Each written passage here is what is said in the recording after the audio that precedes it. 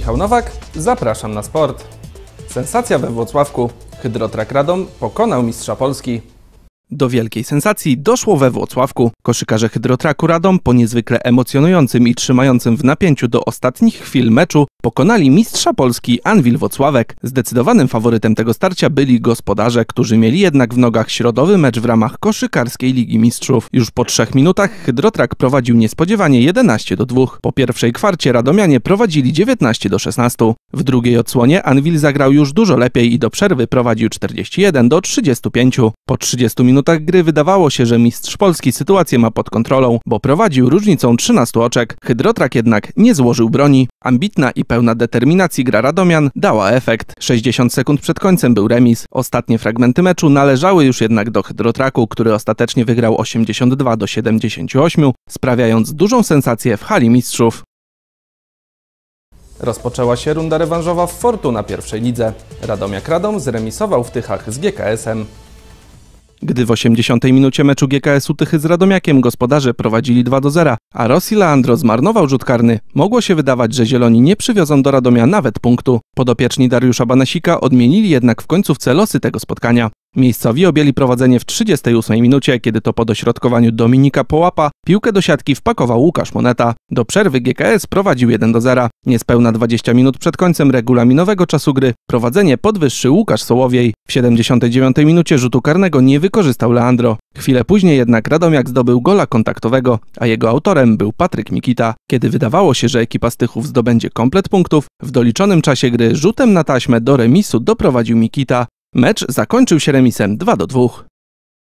Podziałem punktów zakończył się mecz ostatniej kolejki rundy jesiennej trzeciej ligi, w którym broń Radom podejmowała Polonię Warszawa. Do meczu z Polonią Radomianie przystępowali po wygranej w Skierniewicach nad Unią. Faworytem byli gospodarze. Pojedynek rozpoczął się po myśli podopiecznych Dariusza Różańskiego. Radomianie zepchnęli rywali na ich połowę i co chwila stwarzali zagrożenie pod bramką Bartosza Kowalczyka. Jedyna bramka pierwszej połowy padła po stałym fragmencie gry. W 11 minucie precyzyjnym strzałem z rzutu wolnego popisał się Przemysław Wicik. Potem doskonałej sytuacji nie wykorzystał Dominik Leśniewski. W drugiej połowie zmienił się obraz gry. Tym razem to Polonia dyktowała warunki na boisku i w 58 minucie przyniosło to efekt w postaci gola Sebastiana Kobiery.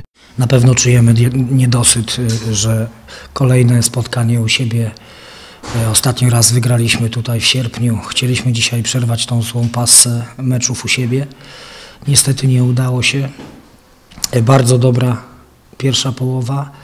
Pięknie wykonany rzut wolny przez Przemka Wicika. Prowadzimy 1-0.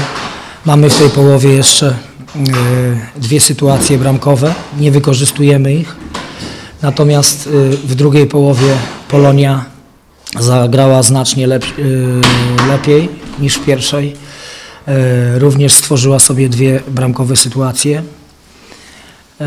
Także suma summarum z sytuacji boiskowych i z bramek z goli zdobytych sprawiedliwy remis. Mecz zakończył się remisem 1 do 1. O pierwsze zwycięstwo w sezonie zagra w poniedziałek Eleklerk Radomka. Radomianki poprowadzi już nowy szkoleniowiec.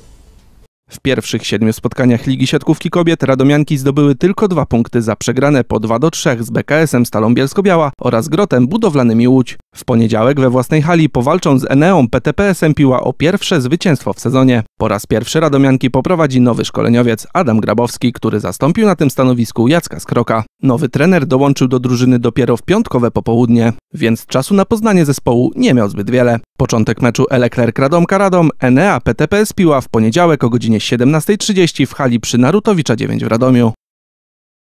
To wszystko na dziś. Zapraszam na prognozę pogody. Do zobaczenia.